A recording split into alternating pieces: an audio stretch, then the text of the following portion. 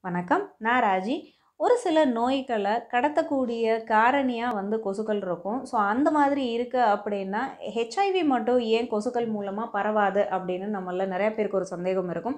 அதுக்கு பின்னாடி இருக்கக்கூடிய சயின்ஸ் ஃபேக்ட் என்ன அப்படின்னு பார்த்தீங்கன்னா மலேரியா போன்ற வியாதிகள் உருவாகிறதுக்கு காரணமான பாரசைட்ஸ் வந்து ஒரு லைஃப் சைக்கிள் அதாவது அதோடைய வாழ்க்கை சுழற்சி முறையில் வந்து அது அதிகரிக்கக்கூடிய அந்த மல்டிப்ளை ஆகிறது வந்து பார்த்தீங்க அப்படின்னா இந்த கொசுக்களுடைய உடம்புல மல்டிப்ளை ஆகி அதோடைய வாய்ப்பகுதியில் ரெடியாக இருக்குமா எந்த ஹோஸ்ட் கிடைக்குதோ அங்கே வந்து உள்ளே போகிறதுக்கு ஸோ அப்போ இந்த கொசுக்கள் வந்து நம்ம உடம்புல இருந்து ரத்தத்தை உறிஞ்சி எடுக்க எடுக்கக்கூடிய அந்த சமயத்தில் இந்த கிருமிகள் நம்ம உடம்புக்குள்ளே போயிட்டு அதனால நமக்கு அந்த மலேரியா பரவுது மலேரியா டெங்கு இந்த மாதிரி பரவக்கூடிய நோய்கள் பரவுது. வேற ஹெச்ஐவியில் வந்து பார்த்தீங்க அப்படின்னா இந்த கேஸ் கிடையாது. ஹெச்ஐவி வைரஸ் வந்துட்டு மனிதர்கள் உடம்புக்குள்ளே தான் உயிரோடு இருக்குமே தவிர்த்து நம்ம உடம்பு விட்டு வெளியில் வந்துருச்சு அப்படின்னா அது உயிரோட இருக்காது. முக்கியமாக கொசுக்களுடைய உடம்புல அது உயிரோட இருக்க முடியாது. ஸோ என்ன தான் ஒரு ஹெச்ஐவி பேஷண்ட்டுடைய உடம்புல இருந்து ரத்தத்தை உறிஞ்சி எடுத்தாலும் அந்த ஹெச்ஐவி வைரஸ் கொசுவோடைய உடம்புக்கு போகிறப்போ அது நிச்சயமாக இறந்து போயிருக்கும். ஏன்னா அதே மாதிரி வந்து பார்த்தீங்க அப்படின்னா கொசுக்கள் வந்து நம்ம உடம்புல இருந்து ரத்தத்தை வெளியில் எடுக்கிற வேலையை மட்டும்தான் செய்யுமே தவிர்த்து நம்ம பயன்படுத்தக்கூடிய சிரிஞ்சு ஊசிகள் வந்து பார்த்தீங்க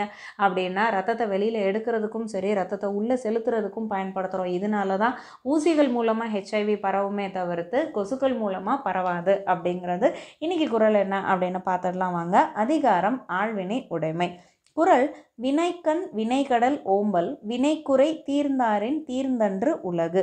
ஒரு செயலை செய்து முடிக்காமல் இடையில் விட்டவரை உலகம் கைவிடும். ஆதலால் முயற்சியை கைவிடல் ஆகாது. கண்டிப்பாங்க ஒரு விஷயத்தை கடைசி வரைக்கும் நம்ம எடுத்துகிட்டு போகல அப்படின்னா அந்த விஷயம் நம்மளே வந்துட்டு ஒரு ஸ்டேஜில் ட்ராப் பண்ணிடும் இதுதான் நமக்கு வள்ளுவர் பெருந்தகை சொல்ல வர்றது.